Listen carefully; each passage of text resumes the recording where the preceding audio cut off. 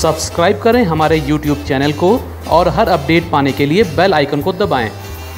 देश में धर्म व मज़हब के नाम पर आम जन को अपमानित करने का सिलसिला थमने का नाम नहीं ले रहा है ताज़ा मामला उत्तर प्रदेश की राजधानी से आया है, जहाँ पासपोर्ट बनवाने के लिए गई एक युवती को सिर्फ़ इसलिए अपमानित किया गया क्योंकि उसने एक मुस्लिम युवक से शादी की है और उसका उपनाम अलग अलग है महिला ने स्वयं के साथ रतन स्क्वायर पासपोर्ट सेवा केंद्र पर हुई इस घटना के बाद प्रधानमंत्री कार्यालय, विदेश मंत्री सुषमा स्वराज को ट्वीट किया है। महिला के अनुसार पासपोर्ट अधीक्षक विकास मिश्रा ने उनसे और उनके पति से अलग अलग धर्मों के नाम को लेकर सवाल किए।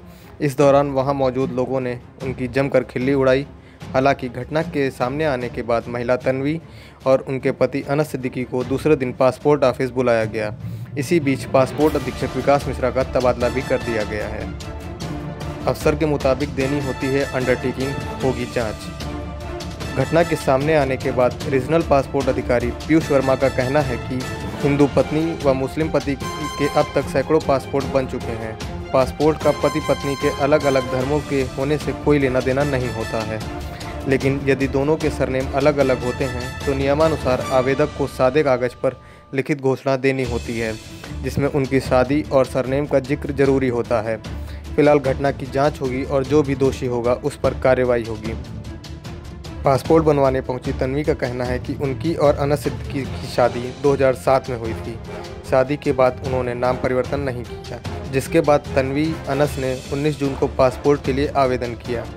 अपनी छः साल की बेटी के साथ बुधवार को पासपोर्ट सेवा केंद्र पहुँची तन्वी बताती हैं कि शुरुआती दो काउंटर ए व बी पर उनकी आवेदन प्रक्रिया पूरी हो गई थी।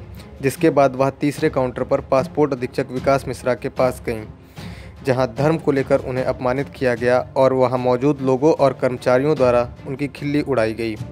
काउंटर सी फाइव पर पहुँचते ही विकास मिश्रा ने दस्तावेज़ में मुसलमान देखने के बाद उनसे सवाल जवाब शुरू किया, जिसके बाद वहाँ पहुँचे अनस को अपमानित करते हुए उन्होंने सरनेम बदलने तक की सलाह दे डाली। आपको बता दें कि तन्वी ने प्रधानमंत्री कार्यालय और विदेश मंत्री सुषमा स्वराज से मदद की गुहार लगाते हुए ट्वीट किया था।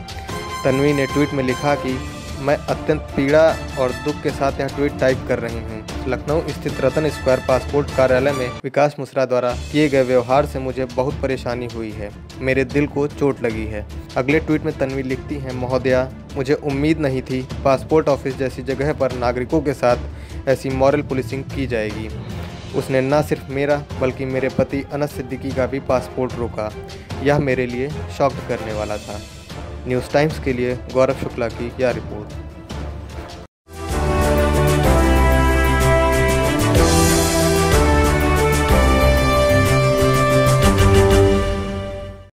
सब्सक्राइब करें हमारे YouTube चैनल को और हर अपडेट पाने के लिए बेल आइकन को दबाएँ।